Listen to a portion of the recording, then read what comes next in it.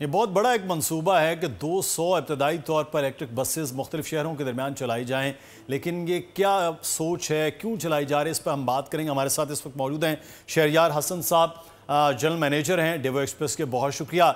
शहरियार साहब, आपके वक्त का महफूज और आपकी जो जदीद बस सर्विस है, वो तो चल रही थी मुख्तलिफ़ शहरों में। सर्विस बहुत पुरानी लेकिन ये जो ई बसेस चलाने का आइडिया ये क्यों आया है? किस वजह से ये ई बसेस चलाने का ख्याल है, मंसूबा है? अस्सलाम जी। Thank you for taking me on the call देखें जी डेगू एक्सप्रेस पाकिस्तान में 25 साल से ज़्यादा अरसे से काम कर रही है और ट्रेडिशनली जिस तरह पाकिस्तान में बाकी ट्रांसपोर्ट सेक्टर है डीजल की बसें इस्तेमाल होती हैं। और हम काफ़ी ऐसे से ये सोच रहे थे कि इस माहौलियाती आलूदगी जो पाकिस्तान में बढ़ती जा रही है इसका सदेबाब कैसे हो सकता है? तो अब हमने इस पे ये प्लान बनाया है कि हम पहल करें इसमें और पाकिस्तान में ये जो डीज़ल या फॉसिल फ्यूल बेस्ड जो ट्रांसपोर्ट है इससे माइग्रेट करके ट्रांजिशन करें टू फुल इलेक्ट्रिक बसेस जो कि 100 परसेंट कार्बन एमिशन फ्री होती हैं टेल पाइप इमिशन ज़ीरो होती है। तो ये हम आगाज़ करेंगे तो बाकी भी मार्केट तब्दील होगी। सो हम एक स्टार्टिंग पॉइंट देना चाहते हैं पाकिस्तान के पब्लिक ट्रांसपोर्ट सेक्टर को ताकि ये जो एक तो टेक्नोलॉजी की चेंज पाकिस्तान में आए, हम मार्केट लीडर होते हुए ये ट्रांजिशन जो है, हम इसको लीड करना चाहते हैं। दूसरा फैक्टर ये है कि जी इतना ज़्यादा प्रॉब्लम हो गया है कि अब हमारे पास कोई चॉइस नहीं रही है कि हम एमिशन फ्री ट्रांसपोर्ट इंट्रोड्यूस करें। आपने देखा होगा लाहौर में अब हमें शहर बंद करना पड़ रहा है। इतनी ज़्यादा माहौलियाती आलूदगी हो रही है। तो अब हमारे पास ज़्यादा चॉइसेस रही नहीं हैं। अगर हम आज नहीं ये करेंगे तो ये तो हालात ख़राब से ख़राब तर होते जाएँगे। आबादी बढ़ रही है उसी तरह से ट्रांसपोर्ट भी बढ़ रही है। तो हम ट्रांसपोर्ट सेक्टर में लीडर होते हुए हम अपना फ़र्ज़ समझते हैं कि इस चेंज को लीड करें। तो यही हम कर रहे हैं जी। तो आ, कब तक इसका आगाज़ हो जाएगा? बारिश का पहला कतरा तो आप बन रहे हैं लेकिन आगाज़ कब होगा? जी आ, ये जी हम इनशाला अगले साल आ, गर्मियों आ, के सीज़न में हम इसको इंट्रोड्यूस करेंगे जी। अच्छा। जो पहली बसेस हैं वो आ, जो खेप है बसों की वो अगले साल गर्मियों में इनशाला ताला पाकिस्तान की सड़कों पे आपको नज़र आएँगी। और ये अगले दो साल में 200 बसेस पाकिस्तान में अलावा और भी प्लान्स हैं जिस पर हम डिटेल में बात कर सकते हैं लेकिन 200 बसेस अगले दो सालों में पाकिस्तान की सड़कों पे हम लेकर आएँगे। अच्छा साहब इसमें एक क्वेश्चन ये है कि लाहौर आपका हेड ऑफ़िस भी मरकज़ भी है तो लाहौर के इर्द गिर्द ज़्यादा ट्रांसपोर्टेशन भी चल रही होती है हम डेवो देखते हैं। तो ये किस रूट्स पर चलाई जाएँगी कहाँ चलेंगी? और ये तो चार्जिंग की बसों का तो मसला होता है कि ये ज़्यादा दो ढाई सौ तीन सौ से ज़्यादा नहीं किलोमीटर चल पाती तो ये क्या फिर प्लान है कहाँ चलाएँगे? जी देखें अभी जो ट्रांसपोर्ट में इलेक्ट्रिक व्हीकल्स की जो टेक्नोलॉजी है ख़ासतौर पे पब्लिक ट्रांसपोर्ट के हवाले से वो अभी टेक्नोलॉजी इतनी आगे नहीं गई है कि लॉन्ग रूट पर भी ये बसें चल सकें। अच्छा। तो हमने ये प्लान किया है कि हम इसका इंतज़ार क्यों करें कि लंबे रूट वाली बसें टेक्नोलॉजी वहाँ तक पहुँचे। तो हमने ये किया कि हमारे बहुत सारे रूट्स जो हैं वो शॉर्ट रूट्स हैं दो सौ सवा दो सौ किलोमीटर के अंदर।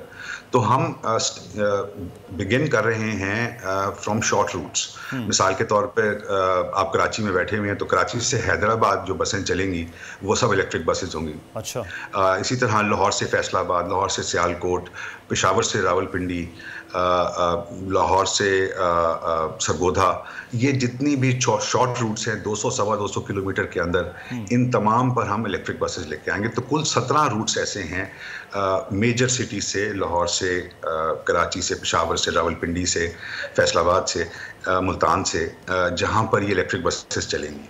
तो हम ये बारिश का पहला कतरा के तौर पे ये चीज़ कंट्रीब्यूट करना चाहते हैं। बिल्कुल ये अगर आप बारिश का पहला कतरा हो रहे हैं तो बाकी कंपनीज़ भी आगे बढ़कर किश्ते वीरा सैराब हो सकती है। लेकिन एक चीज़ मैं यहाँ पर एक बड़ा इंपॉर्टेंट मामला है वो है आपके अपने पर भी और पाकिस्तान में सबसे बड़ी इम्पोर्ट जो है वो शहजाद साहब वो है फ्यूल का। और पाकिस्तान का अपना जो ज़र मुबादला बहुत ज़्यादा उस पर खर्च होता है। तो इस पे तो फिर किसी किस्म की फ्यूल और इन चीज़ों के मामला नहीं होंगे। इसका मतलब है यहाँ पाकिस्तान को बहुत ज़्यादा भी फ़ायदा हो सकता है हुकूमती सतह पर भी ओवरऑल आपने बहुत ही एक इंपॉर्टेंट पॉइंट को छेड़ा है कि फ्यूल इंपोर्ट बिल जो है पाकिस्तान पर एक बहुत बड़ा बोझ है। और इलेक्ट्रिक बसेस को इंट्रोड्यूस करने से इसके अंदर एक अगर हमें देखकर और भी लोग इस काम में इलेक्ट्रिक बसेस लेकर आते हैं और इलेक्ट्रिक दूसरी ट्रांसपोर्ट भी लेकर आते हैं तो उससे जो हमारा फ्यूल का इंपोर्ट बिल है, उसमें नुमाया कमी आएगी। और इसमें क्योंकि कोई फ्यूल नहीं पड़ता ना सिर्फ़ ये कि फ्यूल नहीं पड़ता कोई लुब्रिकेंट्स भी नहीं पड़ते जो इंजन ऑयल डालना पड़ता है या यू अच्छा। नो कोई इस तरह की चीज़ें भी नहीं पड़ती हैं। उसके स्पेयर पार्ट्स की इंपोर्ट बहुत ज़्यादा की जाती है।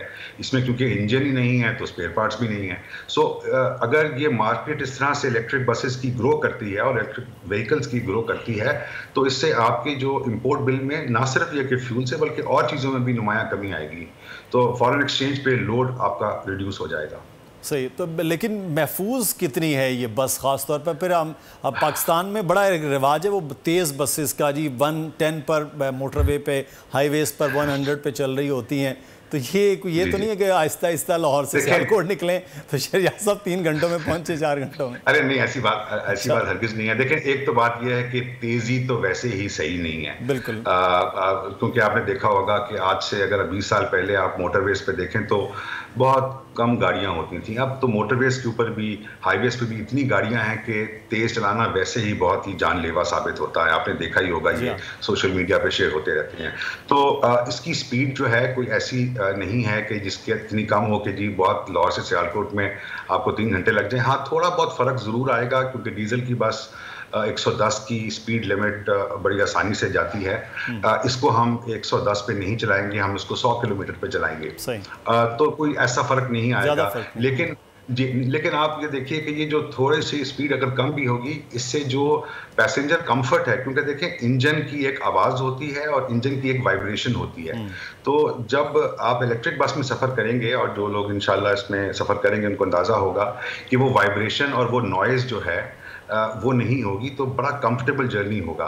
और दूसरी चीज़ आपने देखा होगा कि डीजल के इंजन की आवाज़ भी होती है काफ़ी। तो जो आउटसाइड एटमॉस्फेयर में एनवायरनमेंट के अंदर नॉइज़ पोल्यूशन को भी कंट्रीब्यूट करती है। तो इससे कोई नॉइज़ पोल्यूशन भी नहीं होती बिकॉज़ बिल्कुल नॉइजलेस होता है इसका कोई इंजन तो है ही नहीं तो आवाज़ किस बात की आनी है? सो so, इस हर लिहाज से अच्छी है। हम मैंने खुद कराची में एक यहाँ क्योंकि ई बसेस का आगाज़ कराची से हुआ है पाकिस्तान में सबसे पहले सिंध हुकूमत ने यहाँ स्टार्ट की। तो नॉइज़ पोल्यूशन का तो मैं आपकी बात को बिल्कुल एग्री कर रहा हूँ कि बिल्कुल ऐसा कुछ नहीं होता बड़ा ज़बरदस्त है। आपकी इंटरसिटी इंटरसिटी दोनों सर्विसेज़ चल रही होती हैं लाहौर में भी हमने देखा। तो ये इंटरसिटी इंटरसिटी हर जगह पर बसेस को आप फिर चेंज करने जा रहे हैं आगे? जी देखिए इंटरसिटी तो क्योंकि हम खुद ऑपरेट करते हैं तो इसलिए हमारी अपनी चीज़ें हम उसको तब्दीली जिस वक्त चाहें कर लें। फ़र्क ये होता है कि इंट्रासिटी यानी कि जो अर्बन ट्रांसपोर्ट लोकल ट्रांसपोर्ट होती है उसमें जितने भी प्रोजेक्ट्स हैं बसेस के वो गवर्नमेंट के हैं। हाँ, तो हम तो गवर्नमेंट के साथ इंगेज हैं प्रोविंशियल गवर्नमेंट्स के साथ भी फेडरल गवर्नमेंट के साथ भी कि जहाँ जहाँ पर भी इलेक्ट्रिक बसेस लाई जा सकती हैं प्रोजेक्ट किए जा सकते हैं वहाँ पे करें। और हमने इस सिलसिले में तमाम सूबाई हुकूमतों को और फेडरल गवर्नमेंट को भी लिखा है हम प्रोजेक्ट करना चाहते हैं। गवर्नमेंट हमें इसमें सपोर्ट करे। सिर्फ़ हमें नहीं सबको सपोर्ट करे इलेक्ट्रिक बसेस के लिए क्योंकि ये इन्वायरमेंट का प्रॉब्लम बहुत सवियर हो चुका है। हम्म। और मतलब Pakistan is one of the most polluted countries in the world and and you know we need to do something about it तो हम लोग तो चाहेंगे जी कि शहरों में भी बसें चलें। हम अपनी कंट्रीब्यूशन में ये कर सकते हैं कि जो हमारी सवाबदीद में है हमने उसमें 200 बसें लेकर आ रहे हैं ताकि अब आप ये देखिए कि जो हमने इंटरनेशनल कंसल्टेंट से जो कंसल्टेंसी ली है अब ये 200 बसें चलाने से ढाई करोड़ किलोग्राम कार्बन इमिशन की रिडक्शन होगी। अच्छा। ढाई करोड़ किलोग्राम। क्योंकि ये बसेस जो हैं ये साढ़े चार करोड़ किलोमीटर चलेंगी सालाना एवरेज तो इससे ढाई करोड़ किलोग्राम यानी कि पच्चीस हज़ार टन कार्बन एमिशन सेविंग होगी। तो ये सिग्निफिकेंट है। तो इस तरह और भी लोग करेंगे तो ये और ज़्यादा कार्बन एमिशन कम होगी और माहौल बेहतर होगा। ये तो बहुत बेहतर और बड़ा ज़बरदस्त किस्म का इकदाम है और इस वक्त सबसे दुनिया का बड़ा इशू जो है वो भी इन्वायरमेंट का है और आप डेवो बस ने अगर आगाज़ किया है तो इसमें अब अगले साल हम इंतज़ार करते हैं कि किस तरह से ये आगे चलें और पाकिस्तान की सड़कों पर दौड़ती नज़र आए। बहुत शुक्रिया। सब्सक्राइब करें और बेल दबाएँ ताकि कोई खबर रह न जाए।